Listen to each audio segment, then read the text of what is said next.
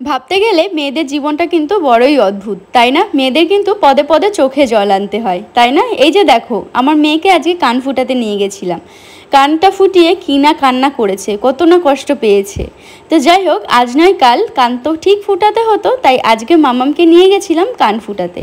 তো চলো, আজকের ব্লগটা শুরু করছি, আশা করছি ভালো লাগবে, দেখতে থাকো।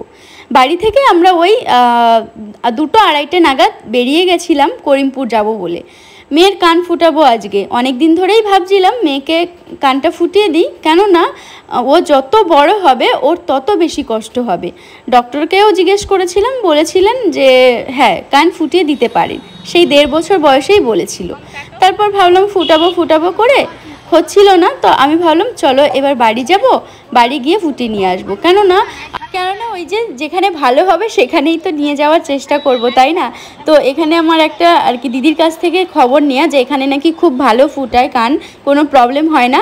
তবে দুঃখের বিষয়, এসে দেখেছি পার্লারটা বন্ধ আছে। আশেপাশে জিজ্ঞেস করলাম, বলল যে না, আজকে মানে ওপেন করবে না। তারপর ওই পার্লারের সামনে গিয়ে দেখলাম বন্ধ আছে। তারপর পাশে জিজ্ঞেস করলাম, বলল যে না, আজকে খুলবে না। তারপর আশেপাশে আরও জিজ্ঞেস করলাম যে এখানে তাহলে আর কোথায় ভালো পার্লার আছে? তো আরও দুটো পার্লারের খোঁজ দিয়েছিল, তো সেখানে গিয়ে আমরা পাইনি। মানে মেইন যে ফুটাবেন সেই সেই দিদিটা ছিলেন না আরও বিভিন্ন প্রবলেম ছিল। তারপর চলে এলাম মন খারাপ করে এই চপের দোকানে। দুপুরবেলায় তো একটু খিদে খিদে পেয়ে গেছিল। আর এটা হচ্ছে করিমপুরের মানে খুব ভালো একটা ফেমাস দোকান চপের। আর সত্যি তাই এই প্রথমবার খেলাম। আমার বর আগে আগে খুব গল্প করত, তো আগে ও পোস্ট অফিসে চাকরি করত, শিকারপুর, তো ওখানে যখন আসতো তখন এখান থেকে চপ খেত। তো তারপর গল্প শুনেছি, তো এই জন্য আজকে আমাকে নিয়ে এলো। খেলাম, সত্যি খুব টেস্টি ছিল। আমরা মাটন চপ আর হচ্ছে চিকেন চপ খেলাম। তো এখন ওই মানে চপ খেতে খেতে ওই দাদার কাছেই বলছিলাম, দাদা, এখানে ভালো পার্লার আছে, যেখানে এরকম বাচ্চাদের কান ফোটানো হয়? তো দাদা বলল হ্যাঁ একদম পাশেই আছে। তো ওই যেখানে নিয়ে গেছিলাম মামামকে, একদম এই চপের দোকানের পাশেই, তো সেখান থেকেই কানটা ফুটিয়ে নিয়ে এসছি। তো চপটা খেয়েই চলো এখন ওই পার্লারে যাই। তো এসে দেখলাম সব ঠিকঠাকই আছে। তো বলল, একটু ওয়েট করো। আমরা কিছুক্ষণের মধ্যেই করে দেবো। তারপর এই যে মামা মেশে খুব আনন্দ। আসলে ও কিছুই বুঝতে পারছে না যে ব্যাপারটা আসলে কি। ও তো আনন্দ পাচ্ছে। কি বলো তো তোমরা হয়তো অনেকেও ভাবতে পারো, এত ছোটোতে কান ফুটিয়ে দিলে। দেখো, আমার মনে হয় যদি ছোটোতে করি, তাহলে ওর কষ্টটা একটু কম হবে। যত বেশি বড় হব, হবে, তত বেশি বুঝতে শিখবে তত বেশি ওর মানে কষ্ট হবে। কেন, আমি না নাক ফুটিয়ে বুঝেছি। আমি না বিয়ের এক মাস আগে নাকটা ফুটিয়েছিলাম। তো তখন না আমার ভীষণ কষ্ট হয়েছিল। এই জন্য আমি ভাবলাম যে মামামেরও কানটা ফুটিয়ে আসি। নাক তো এই মুহূর্তে ভাববই না, আমার ইচ্ছেই, ইচ্ছে নেই। জানি না ওর কি ইচ্ছে আছে, নাক ফুটাবে কি না তবে আমার ইচ্ছে নেই যে ওকে আমি নাকে নোসপিন পরাবো। তো যাই হোক, এবার একটা জেল লাগিয়ে দিল অবাস করানোর জন্য। কিছুক্ষণ পর তারপরে এই যে দেখো, প্রথমটা তো ভালোভাবে হয়েছিল তবে নেক্সট টাইম যেটা করা হয়েছিল পরেরটা, ওটা কিন্তু খুব ভালোভাবে হয়নি। মানে খুব মানে কষ্ট হয়েছিল আর কি। তো ফার্স্ট একটা কান ফুটাতে ওই মানে হয়ে গেছিল, তারপর পরের যেটা ছিল, ওটা খুব কষ্ট হয়েছিল বলতে ও একদমই কান ধরতে দেয়নি, তারপর ওর বাবার কোলে এসে আর কি করল মানে ফুটানো হলো। তো যাই হোক মামাম ভীষণ কান্না করছিল, আর মানে ও মানে ব্যথা অবাস ছিল হয়তো বা ওনারা বলেছিল যে অবাস আছে, কিন্তু ওই ভয় পেয়ে গেছিল না, যাই হোক, একটু তো ব্যথা তো লাগবেই, তাই না? লাস্টে ওই গুজিটা দিতে দিচ্ছিল না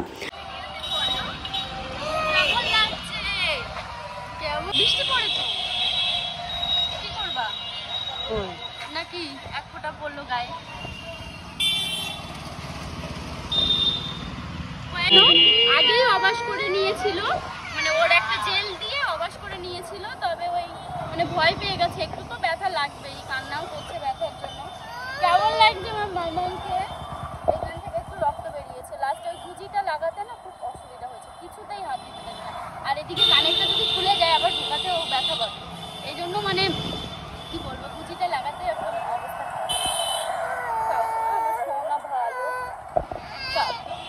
কিছুক্ষণ কান্না করেছিল তারপর কিন্তু মামাম থেমে গেছিল। তারপর আমরা চলে এলাম একটা ক্যাফেতে আর কি কফি খাব জন্য। তো চলো এখন ওপরে যাব আর ওর একটা তরকারি ফোন এসেছিল তো সেটাই কথা বলছিল। আর হালকা হালকা বৃষ্টি পড়ছিল যদিও। তো চলো এখন আমরা একটু ওপরে যাব ওখানে আর কি ইয়ে আছে। আমরা বুঝতে পারছিলাম না কোন দিক দিয়ে যাব। তো ফাইনালি পেলাম জিজ্ঞেস করে যেখানে সেটা ভালো লাগল সেটা হচ্ছে ওপরের দিকে যেই তাকালাম ওই ডেকোরেশনটা দেখে খুব ভালো লাগল।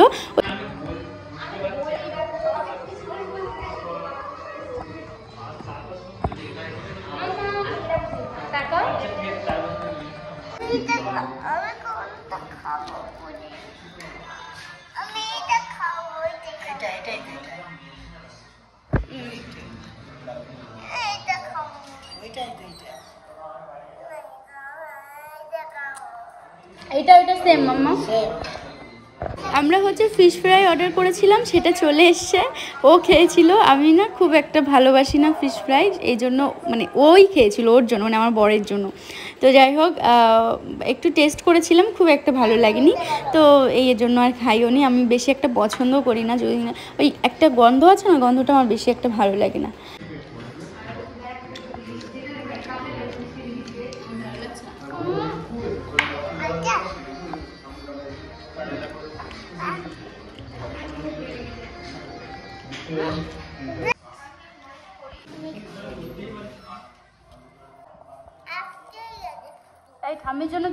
খেতে খেতে না মনটা একটু খারাপ হয়ে গেছিল। কেন বলো তো? বৃষ্টি হচ্ছিল আর ভাবছিলাম কীভাবে যাব বৃষ্টির মধ্যে?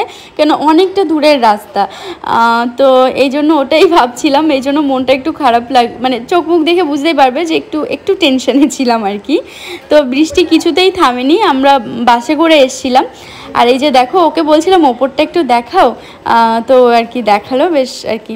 তো চলো খাওয়া দাওয়া হয়ে গেছে। তারপর হচ্ছে কি বলো তো হচ্ছে মাম্মাম লাস্টে বলছে কি, পিৎজা খাবে। তো সেটাই অর্ডার দেওয়া হয়েছিল। তো ওটা একটু মানে আমাদের পনেরো মিনিটের মতো বসে থাকতে হয়েছিল। তারপর আর কি এসেছিল দেন খেলাম। তারপর আর কি আমরা বের হলাম। আর ওই যে আমার বর দেখো সামনে দাঁড়িয়ে আছে, বৃষ্টি হচ্ছিল ওটাই দেখছিল আর চিন্তা করছিল বাড়ি কীভাবে যাব। তো আমি একটু বাইরে এলাম, বাইরে বেশ ফুল গাছ ছিল, দেখে বেশ ভালো লাগছিল।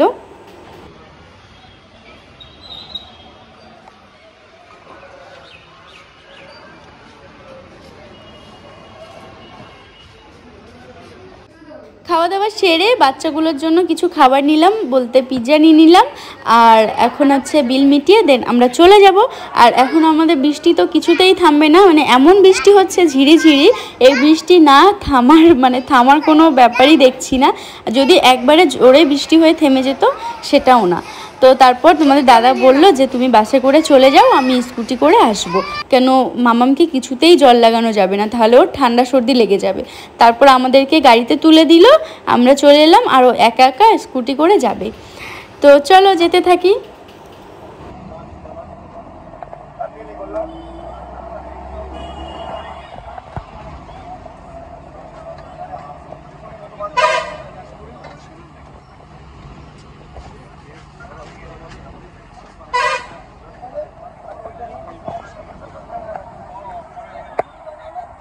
তারপর বাস থেকে নেমে আবার টোটো করে গেছি বাড়িতে।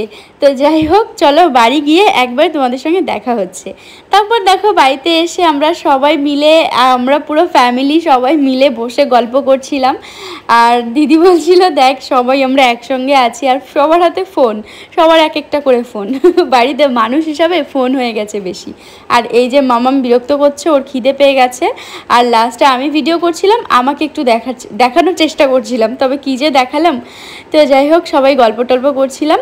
আর এখানে এই যে ওর জেঠুর কোলে রয়েছে তুতুন, আর সবাই বলছে, কি সুন্দর লাগছে, কি সুন্দর লাগছে। আর কেউ যদি বলে যে, দেখি কে কান ফুটিয়েছে আর কানটা সুন্দর করে চুলগুলো সরিয়ে মানে দেখাবে, দেখো। আর এই যে দেখো খাওয়া দাওয়া সেরে আমরা ঘরে এসছি, আর ঘরে এসে এই যে গোসাই দাদার সঙ্গে ত্রিধা আর তুতুন দুজনেই খেলছে। মানে মজা করছে আর কি।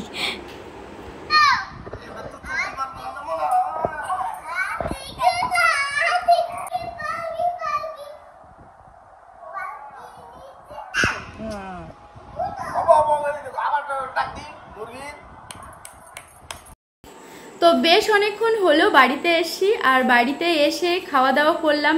দেখছিলে সবাই খেলাধুলা গল্প নিয়ে ব্যস্ত ছিলাম। তো খাওয়া দাওয়া করে ঘরে এলাম, একটা ভিডিও শ্যুট করলাম। তো এই আর কি, আর ভাবলাম চলো ভিডিওটা তাহলে এখন শেষ করি। আর মামামকে তো কানটা ফুটিয়ে নিয়ে এলাম, সেটা তো তোমরা দেখলে। আর কেমন লাগছে মামামকে দেখতে, সেটা কিন্তু অবশ্যই কমেন্ট করে জানাবে। আরেকটা তোমাদের কাছে কোশ্চেন থাকল যে এখনও তো খুবই বাচ্চা, তাও ওর কানে, সোনার কানে দিতে হবে। না হলে কানটা বন্ধ হয়ে যাবে, যেহেতু এত কষ্ট করে মানে কষ্ট তো পেয়েছে ও, কষ্ট করে ফোটানো হলো। তো আমি চাই না যে আবার এই কষ্টটা ওকে করতে হয়। তো এই জন্য সোনার কানের ভাবছি ওর জন্য আর কি বানাবো একটা। ওর এমনি ওর কানের বলতে ওর জন্মদিনে ওর ঠাম্মি একটা ওকে কানের করে দিয়েছে, ওর পিসিমণি একটা কানের করে দিয়েছে। তো সেই কানেরগুলো অনেক বড় এখনও পড়তে পারবে না। যখন আরও অনেক বড় হবে তখন পরতে পারবে। তো সেগুলো তো এখন দেবো না। তো এখন ভাবছি ছোটো মতো কিছু বানাবো। কি টাইপের কানের বানিয়ে দেব? তোমরা যদি কমেন্ট করে মানে কি জানাও, তাহলে ভালো হয় যে ওইটুকুনি বাচ্চাকে কি কানের দিলে ভালো হবে। কানটাও ভালো থাকবে প্লাস ভালোও লাগবে। মানে টপ কানের দেব না মানে গুজি সিস্টেম থাকবে না প্যাঁচানো সিস্টেম থাকবে? কি দিল? আমি ভেবেছি ওই মানে সোনার আর কি বল মতো করে দেব। পেছনে তোমার হচ্ছে ওই কি বলে, প্যাচ যে প্যাচের থাকে না, ওরকম সিস্টেম করে দেব। মানে ওরকম বানানোর ইচ্ছা আছে। তো তোমাদের কি মতামত? অবশ্যই কিন্তু কমেন্ট করে জানাবে। যেহেতু তোমাদের আদরের তুতুন কি পড়বে, সেটা অবশ্যই তোমাদেরও বলার অধিকার আছে। তো কোনটা ভালো হবে, সেটা কিন্তু আমাকে কমেন্ট করে জানাবে। এটাই তোমাদের কাছে আমার তরফ থেকে কোশ্চেন থাকল। তাহলে আমারও জানলে পরে কি হবে? অনেকটা আইডিয়া হবে। নাকি পাথর দেব ভালো লাগবে? না মানে স্টোন বসালে ভালো লাগবে? নাকি এমনি সোনা দিয়ে করলে ভালো লাগবে? তো যাই হোক কমেন্টের মাধ্যমে জানাবে। তো চলো, আজকের ব্লগটা এখানেই শেষ করছি। কালকে আবার নতুন ভিডিওতে দেখা হবে নতুনভাবে। সবাই ভালো থাকবে, সুস্থ থাকবে। এখনকার এখনকার মতন টাটা। আসলে অনেক রাত হয়ে গেছে, জানো? মামাম ঘুমিয়ে গেছে। আমি তো খুব টেনশনে ছিলাম যে মামাম ব্যথা পাবে নাকি, কান্না করবে কি না তবে দেখছি না, ঠিকঠাকই আছে। তো যাই হোক, যেন কয়েকদিনে ঠিকঠাক হয়ে যায়। ওকে নিয়ে একটু চিন্তায় আছি আর কি। তো এই আর কি। তো চলো, টাটা। আবার দেখাবে কালকে।